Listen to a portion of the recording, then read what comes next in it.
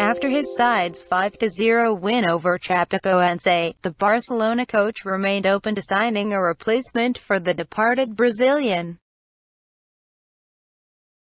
Following Barcelona's victory in the Joan Gamper Trophy, coach Ernesto Valverde acknowledged the prospect of activity in the transfer window.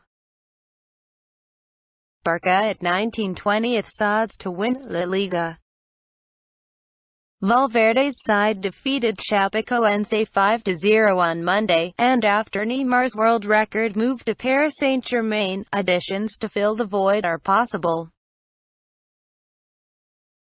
The newly hired coach wanted to end discussion on the Brazilian's transfer, but was vague with respect to a replacement.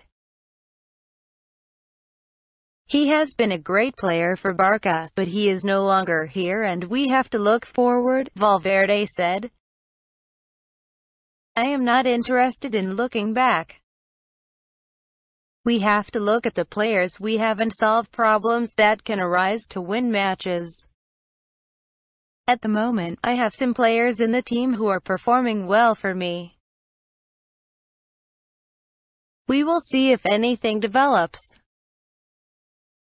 We know that this club, like every other club, moves accordingly to the market. I am focusing mainly on what I have, the rest is up in the air.